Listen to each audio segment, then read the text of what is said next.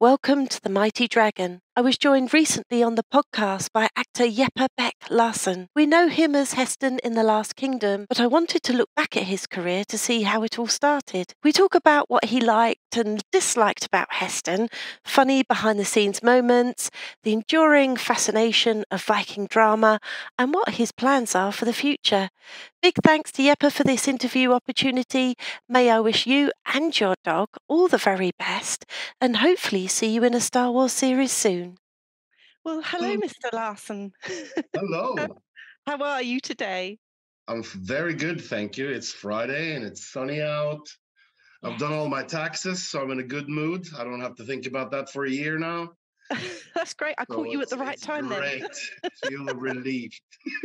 That's wonderful. I've just seen The Last Kingdom, uh, the film. Absolutely wonderful.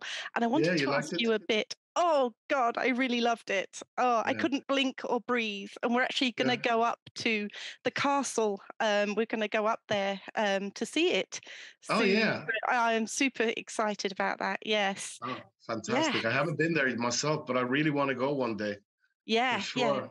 Looks Just to fun. like kind of close the chapter. Yes, yes.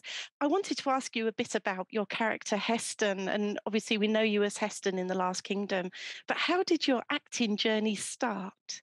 Oh, it started a long time ago. Actually, uh, now this makes me feel very old when I say this. Uh, I've only said it a couple of times this year, but this is my 40th year of being an actor. I started when I was 11, so I'm turning 51 now in a month, which is Oh, insane. I can't believe it myself, but there we're the same age. 19 Crazy! Yay! We're very youthful for our uh, for our Oh age, yeah, yeah, aren't we? for Seven, sure. yeah, Absolutely, absolutely. We have good genes. Please continue. Sorry. No, no, no. So yeah, I was in a, I was, I was actually. It started. It's a bit of a long story, but I'll, I'll try to make it short. I was in a boys' choir, uh, a, a very known boys' choir in Oslo, um, and uh, someone came to audition some boys for uh, a show about uh, Jesus and Judas and his disciples, but when they were kids, I have no idea what it was. A, you know, uh, sound like a very strange idea, and I haven't seen it because it probably aired 40 years ago. Uh, so they just handpicked a couple of us uh, in the in the in the choir to audition for it. Uh, however, I didn't get the part or anything. I I, I had never been in front of I'd never been acting or anything like that before, so I, I probably did a horrible audition. I don't know really.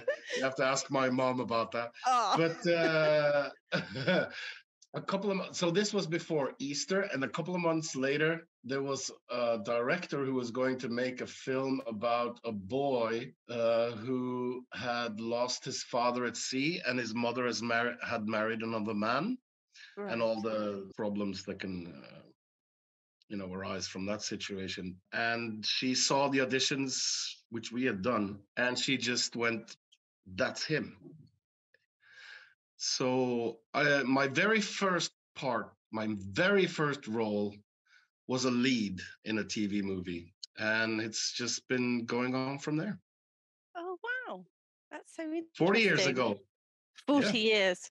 A child. A 40 child. years Merely a child actor. Uh, oh yeah, yeah. So I, I, I actually, I, I worked as a child actor uh, until, or maybe, uh, uh, well, I worked until I was 18. I worked a lot actually, and then I just took a break for five years because I didn't know if this was, you know, if this was what what I was going to do for the rest of my life, Yeah. or so I, you know, worked in the kindergartens. I worked at storehouse storehouses. I worked in flower shops. I just, you know, the whole Yeah. drill. And then actually in 1995, when I was 23, my mother signed me up for an audition uh, because they were going to at a, a theme park just outside Oslo. We're starting up called Viking Land. Right. and she just signed me up for the audition without me knowing. And I just went. Right. And uh, I got the job, and uh, it's been ever since then. Wow. So, yeah. So your mum was very integral to your success. Uh, Does she wanted, remind you uh, of that? She wanted a glorious. Uh, she wanted her son to have a glorious career, or maybe she didn't know what she was doing because I've been poor a lot, but uh, but still. yeah, she did. She did that, uh, but I think Yeah. she's she kind of saw maybe me as a young man getting more lost, not knowing where where I was supposed to be in society Yeah. uh, maybe and uh and she knew how happy i was when i was acting when i was you know teenager and stuff like that so she just gave it a go and um i have to thank her I, i've thanked her on several occasions but uh, thank you very much mom i love you uh, and I owe you everything so yeah. Did you have a preference for screen or stage as as a younger actor? No, not at all. I just loved acting. I loved pretending. I really loved pretending. I think the whole. uh, I remember when Star Wars came when I was seven, and E.T. came. Yeah. I don't know how old I was, maybe a couple of years later. And then when I was a child actor and a teenager, I understood that I could have all these toys and and pretend and you know, I just wanted to you know play through life and uh, Yeah. have, have fun. And uh, now I'm I'm uh, you know, and making money of of um, what you love the most is uh, the most rewarding thing you can you can in life. I think. Yeah.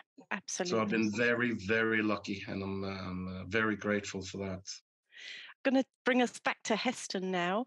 What did Yes. you most what did you most like about his character? And what didn't you like about his character? Oh, plenty of things I didn't like. I mean, how can you like that person? Uh, I mean, I, I I really like his honesty. He was never afraid to be honest, and I liked how free he was. I think I've said this before in other interviews, but I really enjoyed the fact that he wasn't bound by anything. He wasn't bound by religion, by loyalty, by you know anything at all. He was just he to me. Maybe some of the some of the other actors are, are uh, may dispute this, but but I think he was the most free character in in uh, Last Kingdom because everyone else is bound by something. What I didn't like, well, he's a narcissistic, murdering rapist for one. they're not very endearing qualities, are That's, they? uh, that's that's I think that's number one. oh, you know and uh he was he was a he was a man only a mother could love but i don't think his mother loved him much Super. yeah. yeah I, Um, I i think that sums it up actually yeah with with Haesten, I couldn't tr- work out who his allegiances were with. Really, um, were they just to serve himself? His own. Absolutely. Yeah, yeah. I I did really enjoy that character. I must admit. Abs- yeah i i loved it i I loved playing it um it's something uh in norway i've like 95% of my roles have been a good guy Ah, like a comic sidekick or or uh, a gentle-hearted person or so it was amazing for, to me that they actually saw that I had it in me to play a very bad man. It was amazing. I loved it. Yeah. I I, I always Yeah. think that some of the best comedians make the best bad guys. There's that Yeah, flip side there, isn't there? Yeah, Um, yeah, yeah. I mean, it, and for me, it was, it was, it was great to be able to play a man that's so far from myself. Right. Because I think I'm the opposite of a narcissistic murdering rapist. yeah. yeah, I, I think I am. And I think other people will testify. People who know me will testify to that. So Oh um God, should I be phoning the it police here? it was it was great to uh to to just explore that side of of the of the of life and the humanity i Yeah. think Yes. What research did you do before portraying uh, this character? oh um thing is uh first of all i read the two first books in the series Yeah. bernard cornwell but then i stopped reading them because i didn't want to fall in love with something that we did it that he wrote in the books that we weren't going to do in the show and vice Right. versa Okay. uh, because i knew we were taking a couple of different directions uh, but i intend to read them i have them all in my bookshelf so, so i intend to read them um, but to me to be honest because Haesten uh, is a real life person. He lived back in the day, uh, and he was an extremely successful warlord and pirate.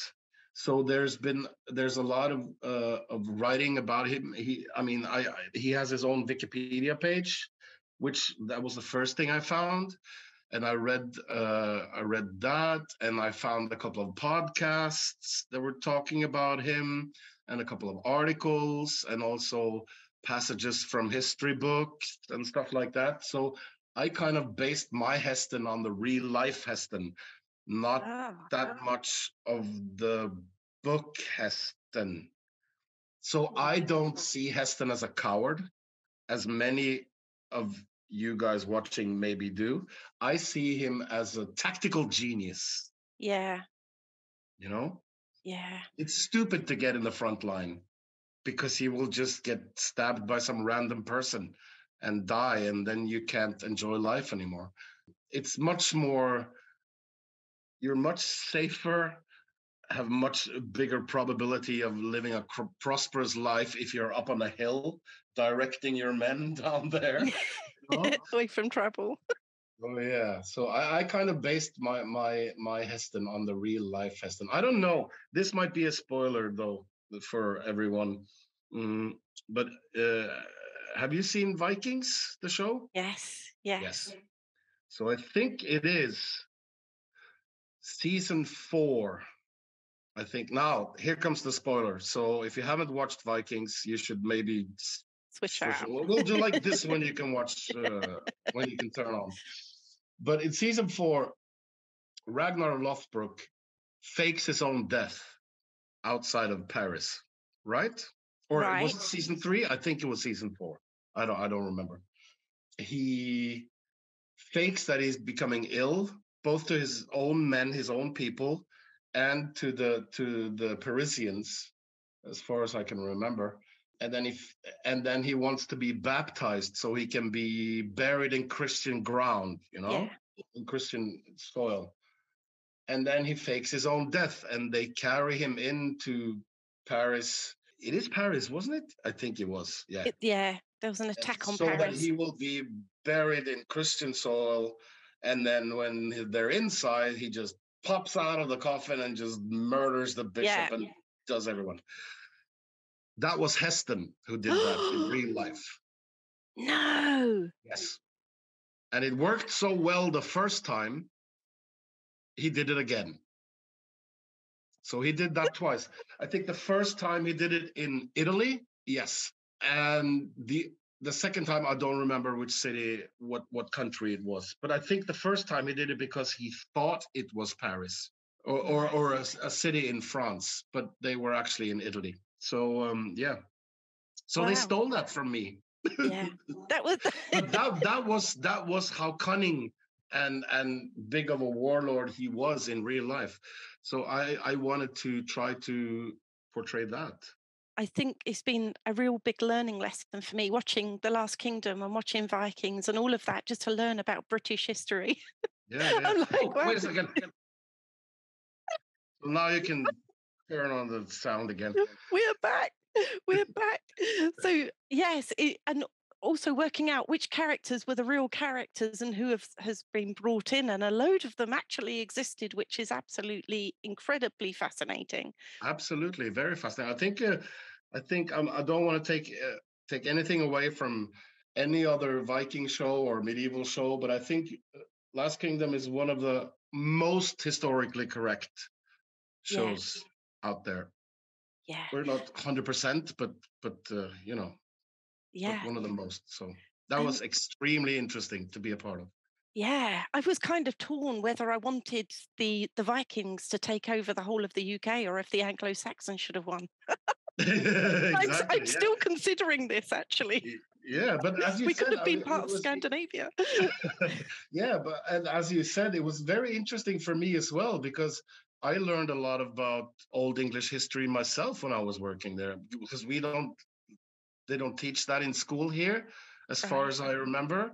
We have our own king sagas uh, in Norway, you know. Um, Ah, interesting. Um, is there any funny moments or behind the scenes moments that you can share with us from the sect? I mean, there's loads. There's loads. We had so much fun on that set. We became like a, a big family. But there's always one that stands out, and maybe some of your viewers or listeners will have heard this before. But that's that's the one moment that stands out for me always. And um, it was in season three. There's the battle of uh, of uh, Beamfleot in the episode five and six. Yeah. When I have Skade by my side and Uhtred is encircled by my men down on the field and everything, and you know uh, Alfred and they're waiting in the woods.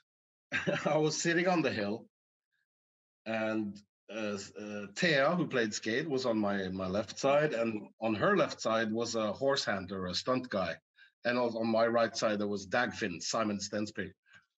And he, I tell him to run off into the fray, and he does. And at one point, she runs off. She rides off down towards Uhtred because she sees Uhtred. She wants to go to Uhtred. And the stunt guy, the horse handler, he rides after her, and I ride after them. And I hit her on the back of the head with my axe. I don't know if you remember. And then I lift her onto my horse, and I go like to Uhtred, and I ride off. You know, before he gets to her. So when we're shooting the close up of that, I hit her on the side of the head, on the back of the head with my axe. I lift her over to my horse, and then the horse handler, the stunt guy, takes her horse out of frame, Right. just just to the right there, and then I go to Uhtred, and I turn my horse, but he had only gone just out of frame. So when we exit frame, we're just behind the other horse. And my horse, Joker, which I loved, Oh. he went.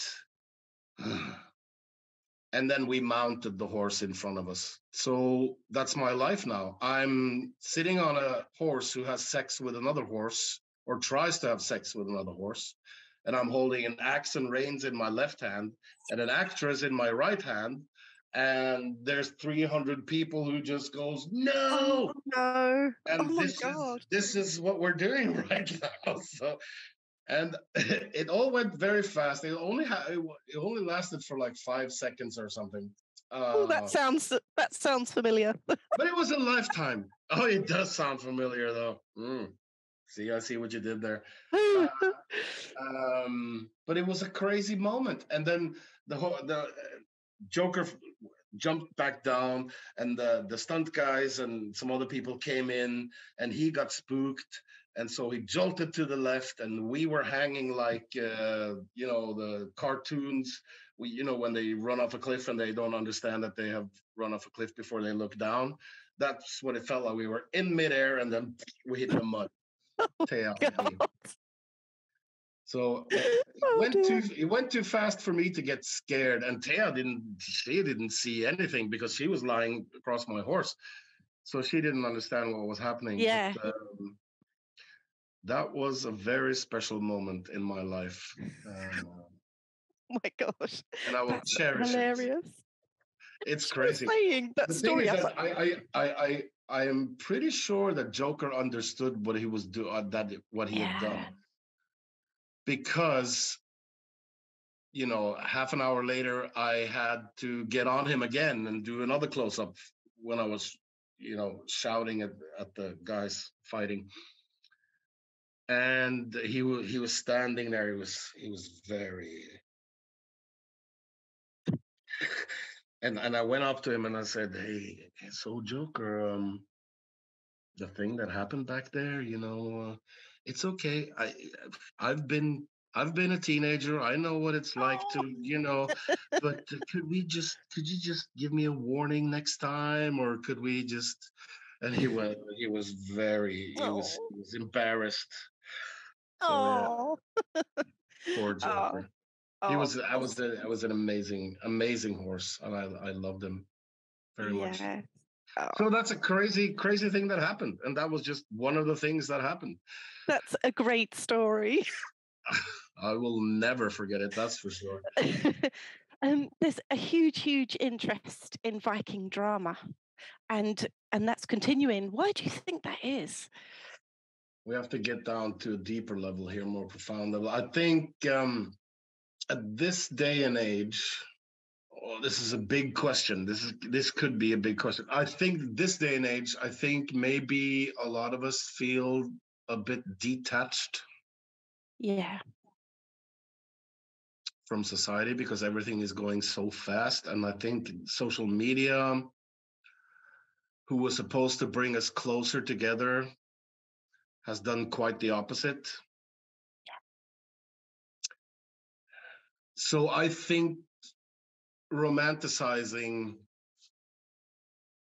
a time where everyone were close. If you were close, you were really close.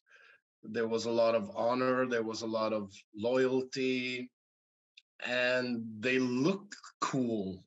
I mean, yeah, I- super I, cool. I think yeah. there's I think there's a lot of answers to that one, but I think that might be I think that might be um, part of the truth. I Yeah. think.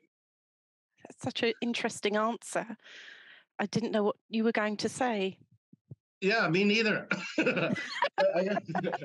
But I think I think that might be I think that might be some of some of some one of the or a couple of the reasons why. And you know, there's also the whole thing about exploring and discovering new things, and maybe people, uh, myself included, feel that you know every every inch of this planet has been discovered by now.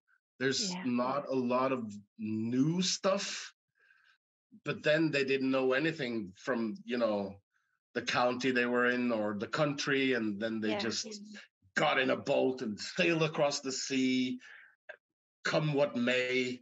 You know, we're going that direction, and uh, Yeah. I think stuff like that. I mean, the adventure of it, but I think, uh, yeah, I think uh, I read the other day they the, were the first Europeans to get to America.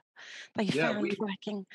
Yeah, we we like to think that. I mean, uh, Americans say that there was someone else, but we know we got there at least Yeah. 500 years before. So Absolutely. yeah, we went to Jerusalem. There's there's runes carved in in walls in Jerusalem um, from the 900s. Gosh, I didn't know that. In Jerusalem as well. Gosh, Yeah. so Sigurd- impressive. Sigurd Jorsalfare was the guy was one of the guys who went to uh, to uh, Jerusalem. Jorsalfare means uh, the Jerusalem traveler. Ah. Yeah. Right. So we were all over the place, basically. Absolutely, absolutely. I wanted to ask you about the Norwegian film industry. What are the strengths of the Norwegian film industry? That's a different or a difficult question. uh, I mean, Sorry. I think one thing might be how exotic it seems for a lot of people. I think the you know nature and and how we look maybe, uh, but I think uh, in terms of the film industry, I think, and the TV industry, I think I've been thinking about this a little bit. I think it's because we don't follow the exact patterns. We kind of dare to go a, bit off track. You know, we, we don't follow the the formula for for a film that a lot of films, maybe in Hollywood, for example, right, do. It might feel uh, genuine, more genuine. I, I, am not sure. I, it's it's hard for me to to um, to pinpoint. the The community is is much smaller, so everyone that works in the business uh, on the crew side, at least, they work a lot. Right. So that they so they're really really good at what they do. I mean, I'm not take, trying to take anything away from any crew member in the world because I'm pretty sure they all are amazing. I, don't know. I think you'll. No, I, I'm not sure. No problem. I've only got a few more questions for you. What type of characters do you like to portray or would like to portray? Well, I love to portray uh, narcissistic murdering rapists. oh, I wonder who that is.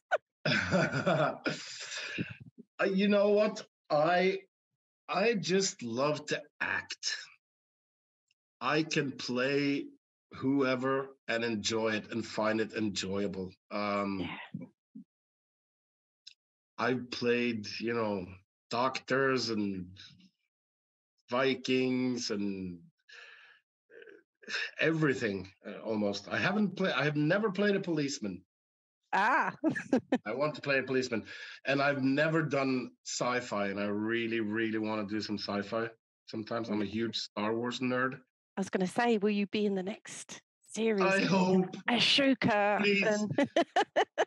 Send it into the universe for me. Yes. I will love you forever. Star Wars must be the the the highlight of any actor's career. I can only imagine. Man, what I wouldn't do to just be a stormtrooper number five in the back row from the left, it would be great. I would, Fantastic. I would just, uh, yeah, nerdgasm. Where, so, what do you have coming up for the the rest of the year?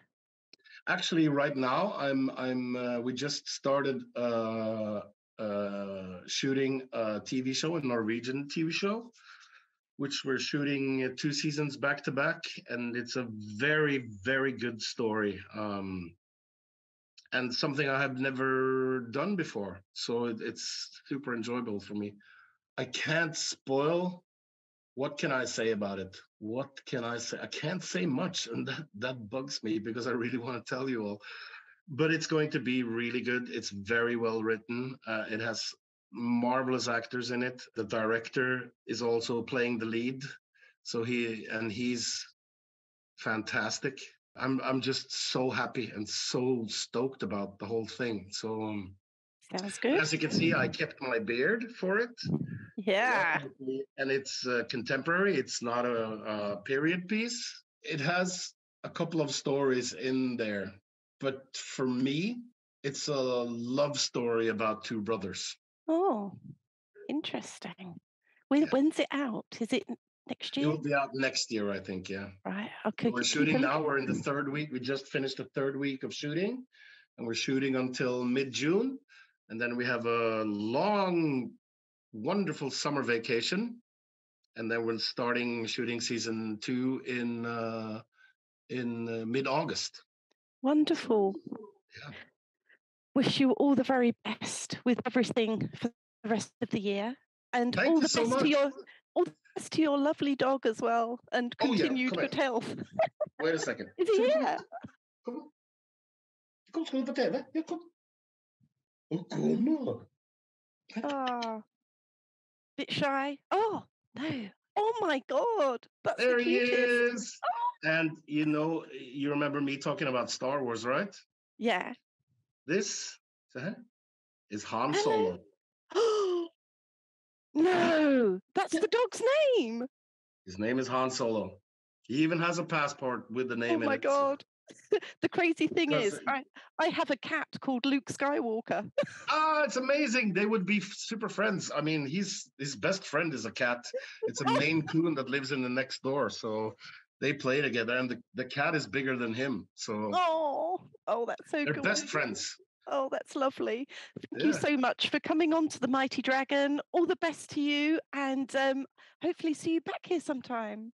Thank you so much for having me. It was Thank a you. pleasure, and uh, Fantastic. See you soon. Bye. ya.